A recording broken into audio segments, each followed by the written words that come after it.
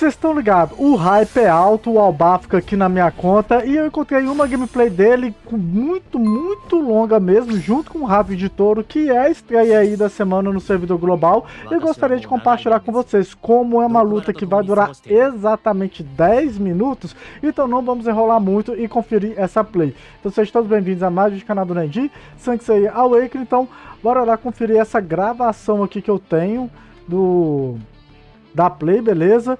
Então aqui eu estou no servidor 1 do chinês. Ele está usando uma build aqui, um Albafka de baixo ele não tem o despertar da armadura e o de cima ele tem o despertar da armadura. Ele já chegou lá com o um efeitinho, né, de, do signo de peixes descendo aí a constelação. E temos o rasgo de touro ali, todo maromba, né, bem gang style. Então vamos conferir que aqui o Aldebaran ele vai chegar no teto de dano dele. E ali é a skin do Shun, né? Chegou a skin do Shun também no servidor chinês. Então, beleza, vamos lá. Aqui estão é, duas builds de Albafka, só que, como eu disse pra vocês, a de baixo é Sincere, mas conta com Thanatos. A de cima, literalmente, tá contando com o Albafka. E nessa gameplay a gente vai poder ver a utilização da skill 2. Né? Uma coisa que eu fiquei bem curioso em saber como que é o dano. Né? Então, atacou aqui o Albafka ele marcou, colocou aqui sua marca de peixe, que é uma rosa. Essa aqui que é a marca de peixe. Então, beleza. Atacou aqui, quase ninguém vai curar, né? Porque temos aí dois albáficas. Mas o time de cima tá bem favorável, né? Dois colocador de escudo, né? Então o albáfica não, não nerf escudo. O de baixo tem dois curandeiros. O de cima tem dois colocador de escudo, mais o Odisseus para curar. Ah, e a Serafina com sempre sua escurinha bônus também, né? Então é Serafinas fazendo o que, que ela sabe fazer, encher o raio de saco.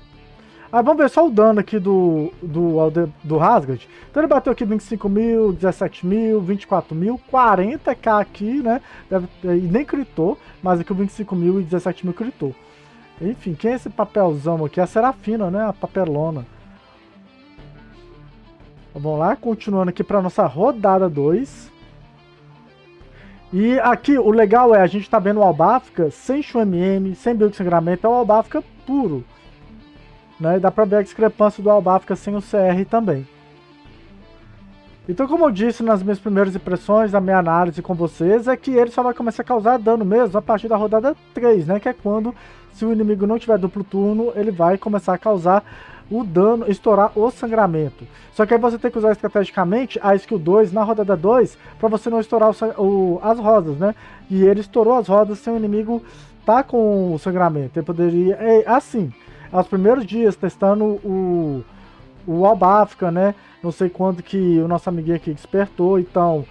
Acontece aí umas nubice e tal, vida segue, né? Quando você tá começando aí a jogar com um novo personagem. Eu mesmo fiz isso no meu vídeo, né? E depois que eu fiz, que eu falei, é, eu poderia ter feito isso. E aí nas próximas vezes já é misplay mesmo, né? Consciente. Aqui ele tá com animação na skill 2 também. Ele não estava com animação no, no meu vídeo de, de análise de gameplay dele. É a mesma animação que ele tem lá batendo no Niob Deep, né? Na sua apresentação, inclusive. A chuvinha, melhor dizendo. Aí, ó, ele usou então ele, ó, vamos lá, pra vocês verem de novo. Ele vai usar agora, ó. Ele aponta e chove. E aqui ele causou 47 mais 21 mais 5 mil. Então vai dar 52 mais 21 vai dar 73 mil se eu não estiver errado os cálculos, tá? Isso que ele aumenta o dano conforme a quantidade de veneno e detalhe. Ele está enfrentando o Albaf, que eu acho que o Albaf interfere no dano. Então ele não usou mais o ataque básico dele, né? Ele não quis usar ali o estouro do, do sangramento, que eu acho que seria mais interessante. Então aqui geral já tá com. Como é que fala? 5 é, cinco, sangramentos, mas não tá com a rosa, tá vendo? O Caim tá com a rosa, eu nem sei nem como ele perdeu, né? Os outros inimigos eles não estão com. Com a rosa, então ele teria que dar. Ah, não, tem o Thanatos aqui com a rosa também. Eu não sei nem como o porquê que uns tem a rosa e outros não. Só se foi revivido e tá, mas não aconteceu isso. Então beleza, mais Serafina ali congelando, né? Só aqui todo mundo joga passivamente. É congelamento passivo, é veneno passivo, é dano passivo, é escudo passivo. Aí o Abafka vai jogar, né? Depois do ataque aqui do Thanatos, vamos conferir o dano. Aqui ele já deu novamente a skill 2 dele, foi no Caim. Então foi 68 mil mais 93 mil de dano. O Albafka a custo zero, aplicando esse tanto de veneno, ele bateu exatamente 160 mil. Se não tiver errado o cálculo, e reviveu ali. Pelo Odisseus, provavelmente. Aí, né, teve que dar uma parada no, no jovem, né? O Albafka de baixo, só aplicando os veneninhos, nada diferente. Ah, é, deixa eu ver o dano. Ah, vamos ver o dano depois do rato de touro também, né? Então foi ali. Na próxima vez a rodada 6. Poucas lutas duram até a rodada 6 pra gente conferir o dano do, do tourão. Aqui ele chegará no teto de dano dele provavelmente. Que essa luta aqui dura até acho que rodada 12. Olha, ele deu 21k ali mudou e aqui ele bateu 27 mil, 29 mil, 12 mil, 24 mil. Não tá legal não, hein, touro. Então beleza, geral ainda tá conseguindo tancar, né? A galera acabou a rodada, a Marechal enche, lota, né, a galera de escudo. Ah não, é aqui que é o dano dele, ó. Pera aí. Esse é o dano dele aqui, ó. Então ele bateu aqui 60 mil, né? 30 mil aqui, 50 mil aqui, 55 mil aqui. Então ele tá causando um, o dano aqui na rodada 6 razoável, 50 mil, mas é rodada 6, né? Eu não sei que como que tá tão OP esse raso de touro também, né? Mas a, a gente tá vendo o dano dele para vocês terem alguma referência, né? Então conseguiu eliminar o Caim, mas o cara tem a Marechal, né? Então não resolve muita coisa.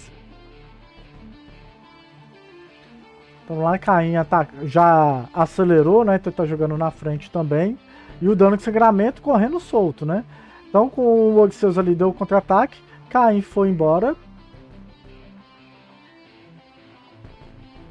Então, beleza. A.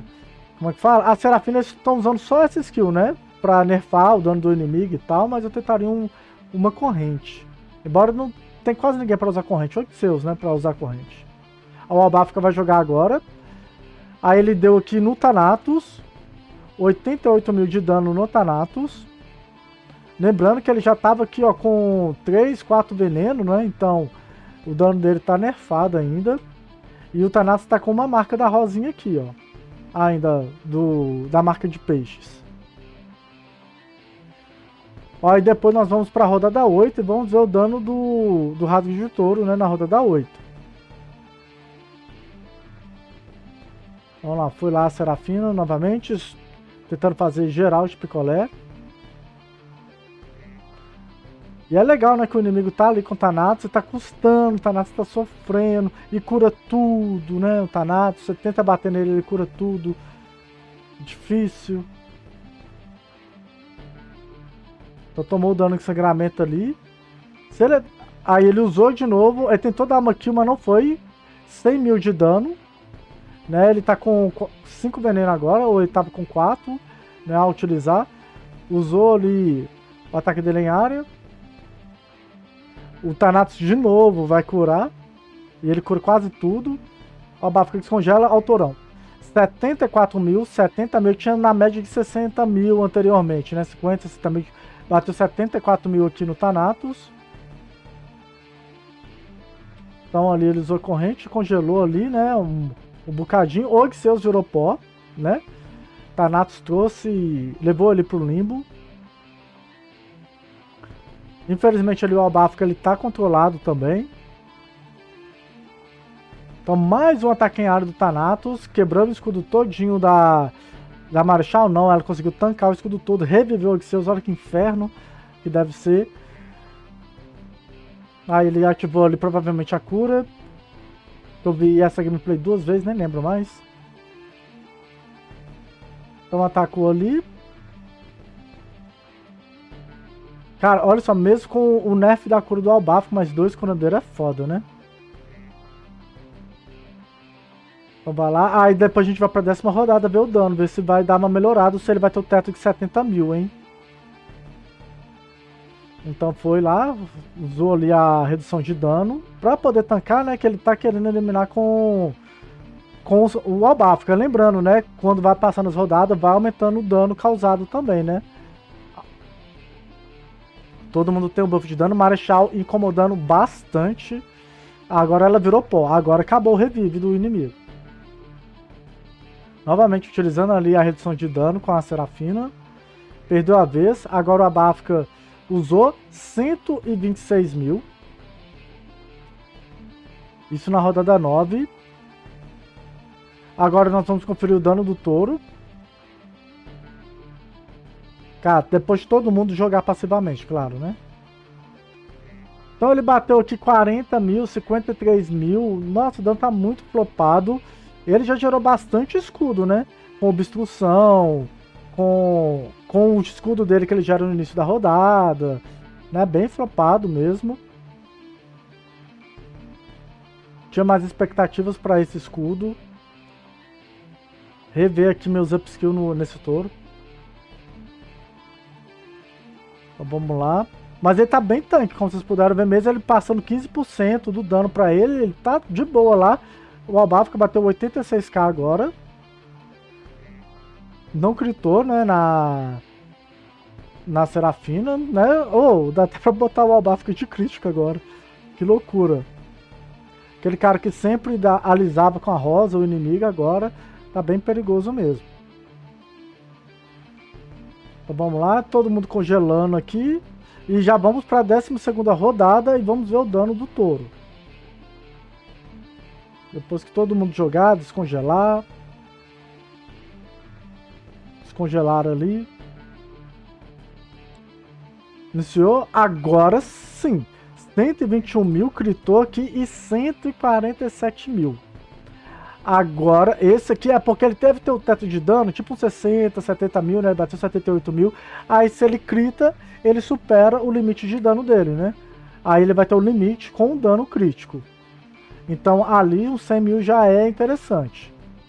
Então aqui a gente tem como uma referência mais ou menos o tanto de dano que é o teto do rasgo de touro. Mas a gente não sabe quanto de PB que esse, esse touro tem, né? E olha só, 12 rodadas, gente. Isso aqui deve ter durado duas horas e meia.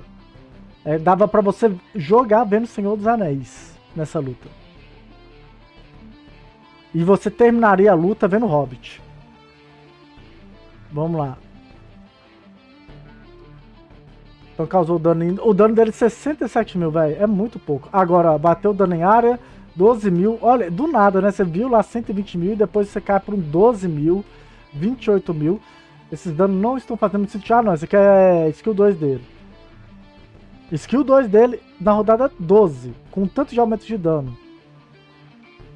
O Albafka finalmente deixou de ser picolé, né? Aí vai usar o ataque ali e 78 mil na Saori. A luta era tão longa que aí até apareceu o plano economia aqui. Então ele iniciou aqui dando uma kill na, na Serafina, né? Deixa eu ver aqui. Isso mesmo, agora eu vi 190 mil. Galera, ele aumentou o dano. Na rodada 14, ele ainda não chegou no teto de dano dele. Ou o teto de dano dele é compartilhado referente ao dano causado no total. Que aqui ele bateu 148 mil, mas 190 mil. E 95 mil aqui no aleatório no Albáfrica. Tipo, a Serafina tomou o dobro de dano.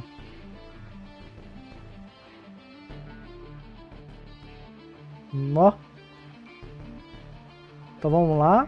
Aí agora, né, vai ser a mitagem ali do, do Albafka contra o Albafka. Então o Albafka elimina o Albafka e depois o Albafka dá um dano, assim, inacreditável, que eu não sei como ele conseguiu fazer isso.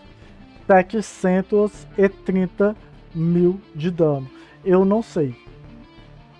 Tenho condições de ter visto, eu não acredito que eu vi isso. Né? E aqui eu vou apresentar aqui a análise do, de dano, né? Para vocês darem uma conferida. Então o Albafka, obviamente, ele era o único DPS, então ele ficou com dano muito absurdo aqui também. O Torão ficou em segundo lugar. O outro aqui, o Albafka, não tem o CR, então não causa tanto dano. E mesmo o Thanatos ter ido embora lá, sei lá, na rodada 6, 7, até a rodada 14, 15, sei lá quanto que durou isso aqui, o Albafka ainda sem o CR não passou dele, né? E a gente vê também que um Albafka sem CR para um Albafka com CR, que eles ficaram até o final da luta, é, esse daqui bateu 5 milhões. A gente pode tirar 700 mil, né? Se a gente tirar aqueles 700 mil no final, 4 milhões e meio. E aqui mil, é, 1 milhão e 300. Então ele bateu três vezes mais com CR. Né? E isso porque ele nem estava estourando o sangramento com skill ataque básico, né? Tava usando skill 2, vocês viram? Ele só tava querendo usar skill 2. Talvez ele deve estar tá testando para ver o dano.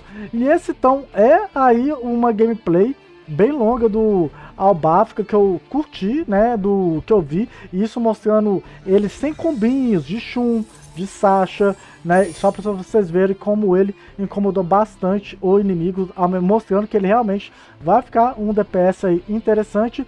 E esse vídeo é apenas um react, né? Apresentar aqui comentário sobre essa gameplay. Mas se vocês quiserem ver as minhas primeiras impressões, caso não tenham visto, vou deixar o vídeo nos cards também. E não esqueça de participar do evento de Natal, né? Que saiu aí nessa quinta-feira. Então se você não está participando ou tem alguma dúvida sobre ele, eu já fiz o passo a passo aqui no canal. Então é isso, vou ficando por aqui. E a gente se vê então no próximo vídeo. Valeu e fui!